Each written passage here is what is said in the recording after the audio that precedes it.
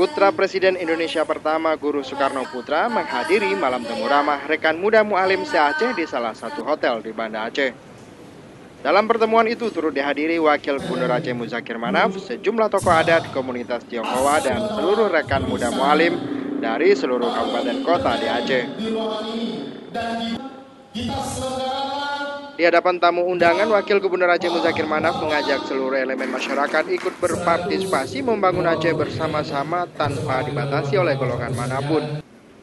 Menurutnya Aceh akan mengalami kemajuan jika masyarakat dapat memanfaatkan seluruh potensi yang ada. Menurut Muzakir, Aceh memiliki peluang yang besar di sektor bisnis, terutama bisnis perhotelan dan bisnis di sektor pelabuhan. Muzakir menyebutkan sejauh ini pemerintah Aceh sudah berusaha membangun sejumlah infrastruktur di seluruh Aceh dan beberapa ruas jalan tembus yang menghubungkan beberapa kabupaten di Aceh.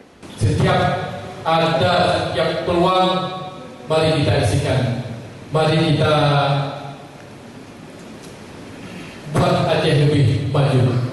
Seperti halnya Sabang dan juga beberapa pelabuhan di Lusmawe sebenarnya pusat sudah memberi kita beberapa inti barang yang boleh kita masukkan dari luar kita impor ya. antara lain uh, elektronik, alas kaki, minuman makanan dan juga pakaian.